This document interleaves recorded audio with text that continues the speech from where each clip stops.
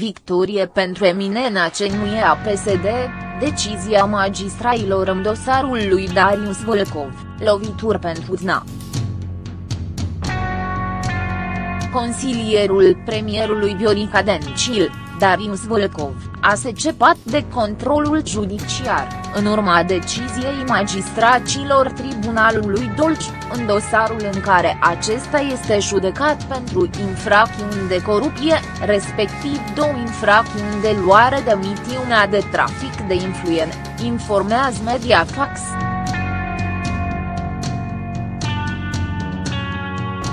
Decizia pe care magistracii dolgeni au luat-o miercuri nu este definitiv sublinierei poate fi contestat de procurorii DNA, în 48 de ore.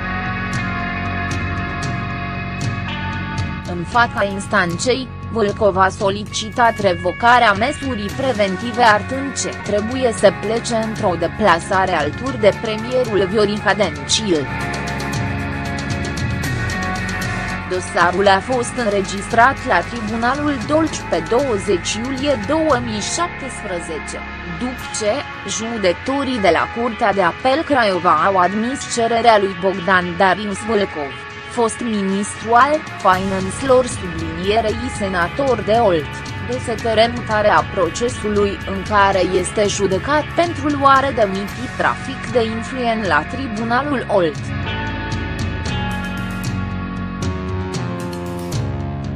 Dosarul se bazează pe denunțul unui om de afaceri care a derulat contracte cu primăria Slatina. Potrivit procurorilor anticorupție, în perioada noiembrie-decembrie 2012, pe când Vâlcov era primar al municipiului Slatina, acesta i-a pretins omului de afaceri un procentaj de aproximativ 10 la 15 din sumele încasate de societatea sa de la municipalitate, în baza unui contract semnat anterior.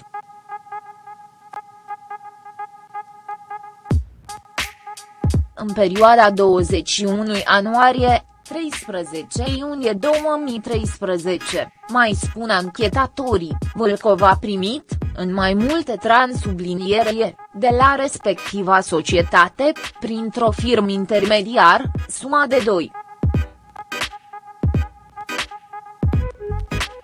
146,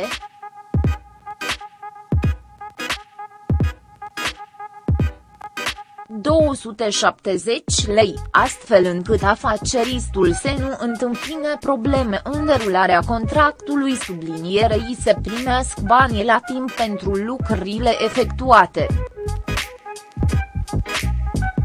Contractul avea ca obiect elaborarea studiilor de fezabilitate, proiectelor tehnice sublinierei execuții al lucrurilor pentru izolarea termică a facadelor a 131 de blocuri din municipiul Slatina, fiind în valoare de 24. 833.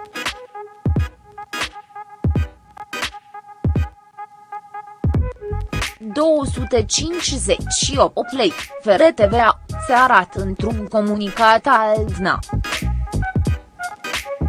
Darius Volkov este acuzat ce a procedat la fel sublinierei în cazul unui alt contract încheiat de instituția public pe care o reprezenta cu alt societate comercial, Condor Peduraru, privind reabilitarea centrului istoric al Slatinei, precul contractului fiind de 7. 726, 919 lei fere TVA. În luna iunie 2012, inculpatul Volkov Darius Bogdan a pretins de la administratorul firmei respective, printr-un intermediar, un procent de 10 din valoarea contractului, pentru semnarea respectivului act de cetre autoritatea contractant sublinierei efectuarea la timp a pelecilor, iar, ulterior, a primit prin intermediul unor persoane suma total de 450 de mii lei, mai spun procurorii.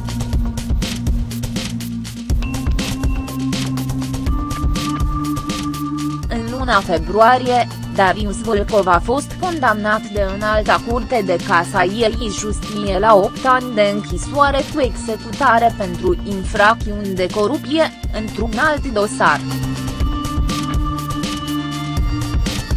Totodată, fostul ministru al finanțelor mai este trimis în judecat într-un dosar care vizează tot fapte de corupție, aflat pe rolul Tribunalului Gorj.